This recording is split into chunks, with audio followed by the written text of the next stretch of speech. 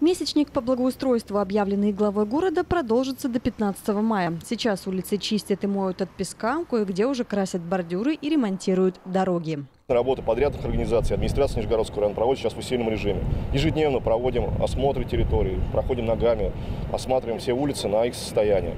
Активно ведется работа по уборке прежде всего песка, который, а, к сожалению, в Нижегородском районе сейчас а, большое количество, еще находится на дорогах. А также активно работаем по уборке территории от всяких ветки сараев, сараев, заборчиков, которые тоже, к сожалению, в Нижегородском районе еще в достаточном количестве. В настоящее время по центральным дорогам прибордюрная полоса уже убрана, подготовлено все к окраске. На этой неделе начинаем покраску бордюра, бордюрного камня.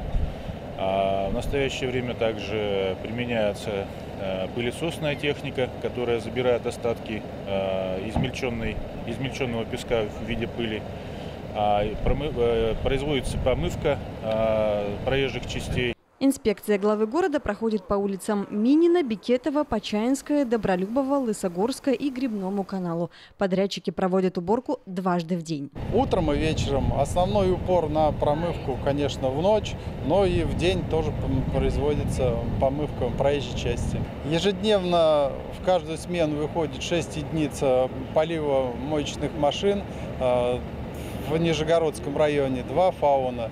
Всего по городу выходит порядка 25 единиц подметально-уборочных машин. Не на всех улицах подрядчики справляются с поставленными задачами. Большая проблема улицы Бикетова, которую посетили. А, подрядчику дано указание активизироваться. Если не будет активизироваться, будем привлекать дополнительные силы. А, к подрядчику применять соответствующие санкции.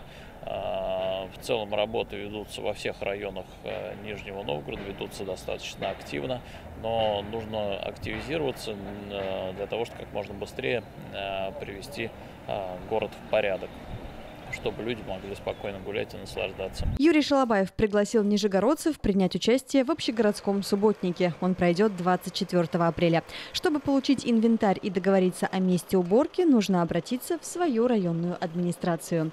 Елизавета Виноградова, Время новостей.